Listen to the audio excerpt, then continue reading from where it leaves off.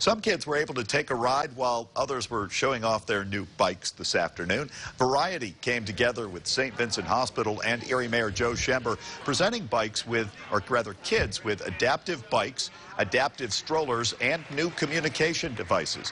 Each of the recipients, local children with disabilities, once they got into their new device, they were able to show it off for the first time by participating in a parade inside the hospital, leaving smiles on just about everyone's faces. Their joy, both the kids and the families, has transformed me. I thought I was helping them, and I realized I'm a better person because of them and their joy. 18 devices were presented this afternoon.